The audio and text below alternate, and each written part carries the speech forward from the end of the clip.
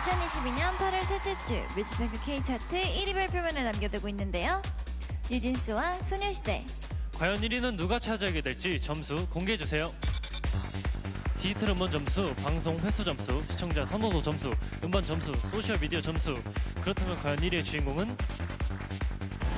네, 뉴진스 축하드립니다.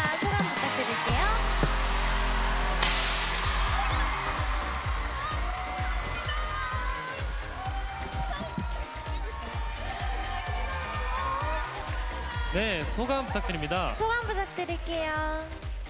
네, 어, 우선 저희 데뷔 때까지 애써주신 미니진 대표님과 어, 또 하이브 구성원분들 모든 분들께 정말 감사드리고요. 또, 또 저희 응원해주시는 팬분들 정말 많이 감사드리고요.